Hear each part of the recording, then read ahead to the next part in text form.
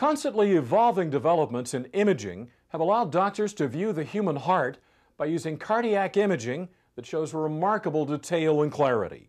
Dr. Dipti Itchhaporia of Hoag Memorial Hospital Presbyterian in Newport Beach explains this new method of cardiac imaging. Cardiac imaging is a broad uh, term that describes the various techniques used to image the heart.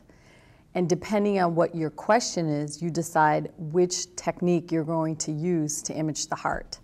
If you're interested in, say, how a particular valve functions because somebody is short of breath and we think it's because of the valve, you may do an echocardiogram. That may be the appropriate cardiac imaging technique to use. If you're interested in a heart blockage and whether somebody has a significant heart blockage, you may consider um, nuclear stress testing, treadmill testing with, uh, say, stress echocardiography, or one of the newer modalities, modalities which is a cardiac CT. A multi-slice CT is something that we're all excited, excited about in the cardiac field. What it really is is a CAT scan, and you are injected with a, a bolus of contrast or dye, and within one breath hold, we're able to get a three-dimensional view of the heart that actually looks at the arteries that nourish the heart muscle to see if there is plaque inside those arteries. The 3D echo is also one of the newer techniques that's come out. You can see it in three-dimensional, so you can see it rotation, rotating and, and are able to see angles and, and views that we may not have seen with traditional echocardiography. We have our, um, the MRI machine and cardiac MR to be able to look at heart function and be able to give, get more information not only about anatomy, what the blockages are, but how is the heart functioning? And the cardiac MRI gives you a whole new look at that. So it becomes important to have not only have the ability to be able to go through risk assessment, but to be able to say in these high risk patients, do they have a certain amount of plaque burden already building? And if they do, then I think patients are much more motivated to make lifestyle changes.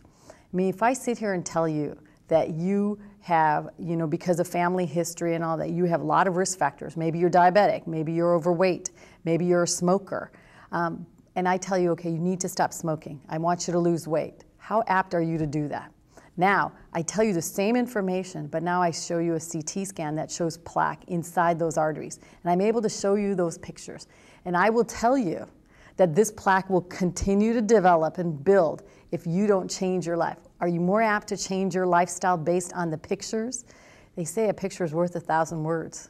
A patient that was, you know, in his early 50s, his um, early 50s meaning about 51, his father died when he was 55. We did a cholesterol test and his cholesterol was high, and he said to me, I don't believe in taking medications. And I said, but the data is there, 30 to 40% reduction in terms of heart attack risk.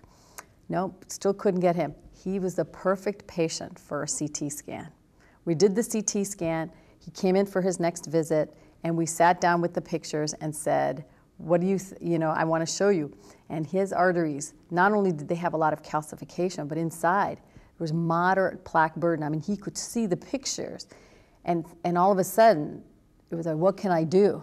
He had a lifestyle change. It was sort of like the light bulb just went on. Said, this is what I need to do. And it took a picture to make that difference.